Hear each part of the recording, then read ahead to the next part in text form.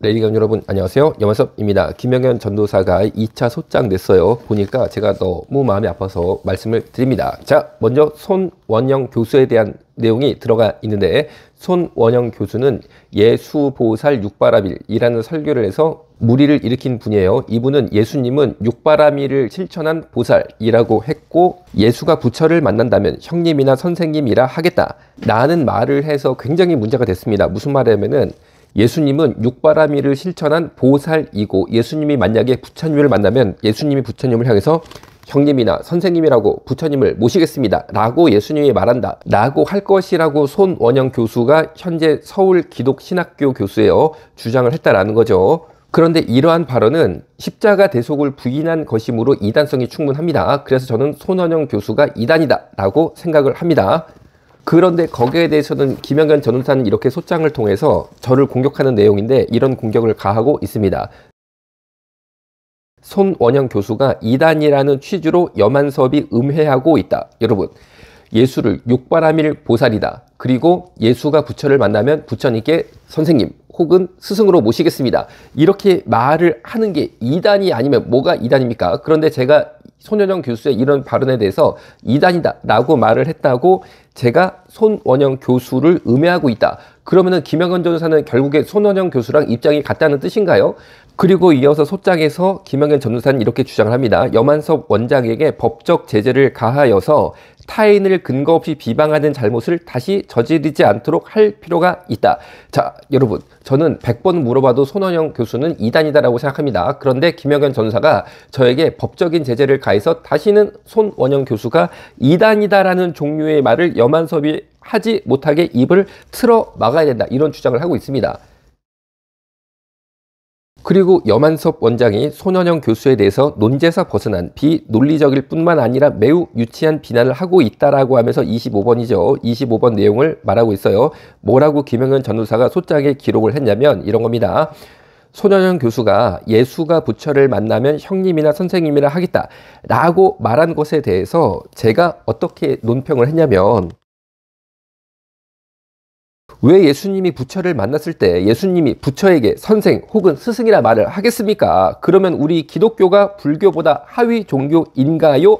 라고 제가 논평을 했습니다. 당연히 예수님이 부처님을 만났을 때 선생 혹은 스승이라고 말을 할 리가 없다라는 거죠. 만약 예수님이 부처에게 선생 혹은 스승이라고 말을 한다면 그럴 리도 없겠지만 기독교가 불교보다 하위 종교인가요? 라는 지적이죠. 제가 그런 지적을 했습니다. 그런데 저의 이런 발언에 대해서 김영현 전도사는 여만석 원장이 손원영 교수에 대해서 논제에서 벗어난 비논리적일 뿐만 아니라 매우 유치한 비난을 하고 있다. 이런 발언을 비논리적이고 매우 유치한 발언이다. 라고 말을 하고 있습니다. 그러면은 김영현 전호사가 이렇게 두둔하고 있는 손원영 교수랑 김영현 전호사랑 사실 내면이 똑같다는 것을 보여주는 건가요?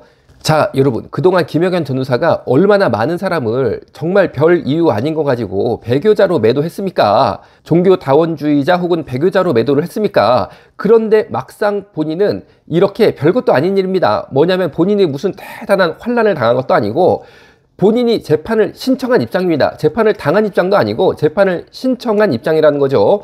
그런데 본인이 신청한 재판에서 조금 유리해 보겠다고 여만섭 원장이 손현영 교수에 대해서 건강한 비판을 한 거에 대해서 여만섭 원장은 굉장히 이상한 사람이고 손현영 교수가 여만섭 원장한테 음해 당할 뿐 아니라 비논리적이고 매우 유치한 비난까지 여만섭 원장한테 당했으니까 여만섭이라는 사람은 법적 제재를 가해서 다시는 이렇게 하지 못하게 만들어야 된다. 라는 판결을 구하고 있다는 거죠. 자, 여러분. 저는 이런 김영현 전도사의 이중성이죠. 아니 본인은 맨날 주장하는 게 7년 대환난 때 믿음 버리지 말아야지만 구원받는다 라는 건데 본인은 7년 대환난이 아니라 제가 보니까 본인이 재판을 신청한 뭐 고난이라고도 볼 수 없습니다.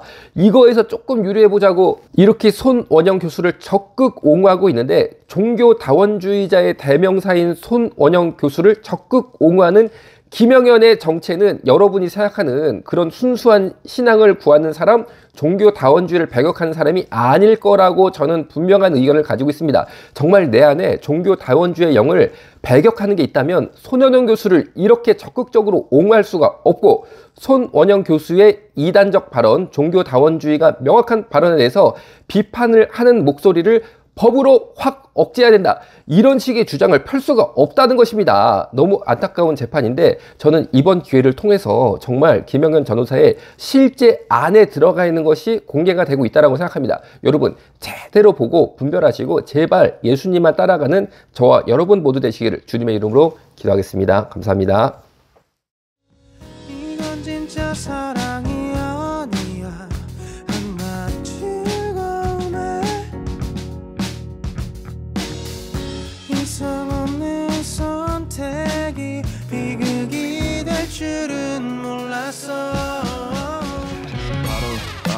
정체성. 올바른 우리 정체성.